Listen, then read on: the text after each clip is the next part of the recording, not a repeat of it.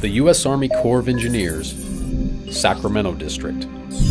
We work directly with state and local agencies managing complex systems of reservoirs, dams, and levees in eight western states.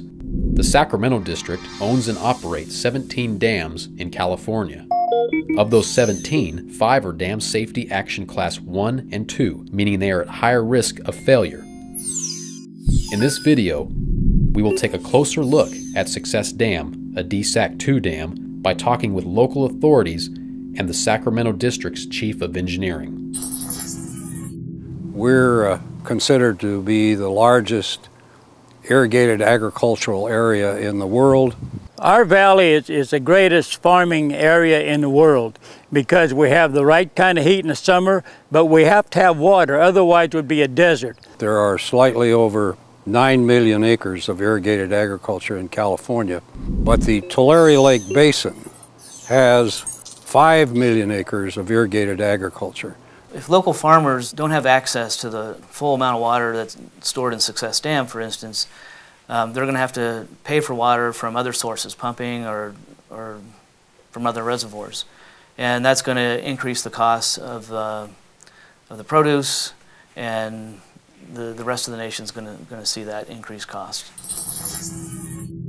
Success Dam does not meet current safety standards.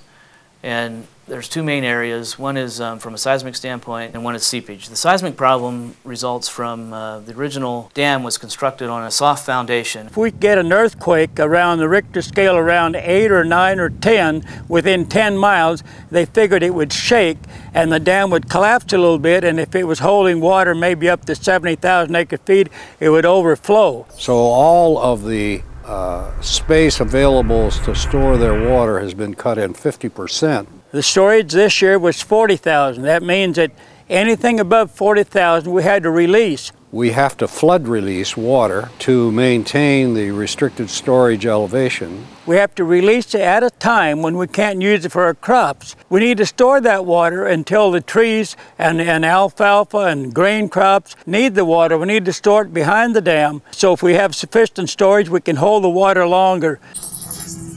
Well, we would like to see the Corps develop a program that will best serve the local interest with a moderate restriction in the storage. In other words, let's develop a program for about 60 days during the May, June, July period when we increase that increment of storage, take a little more risk so it will not impact the water rights holders to store the water to later deliver it for irrigation demands. Each year we're looking, for instance, we did a test fill somewhat of a test fill. We increased the pool last summer um, by about 10 feet to see how the dam performed from a seepage standpoint, and, and it did fairly well.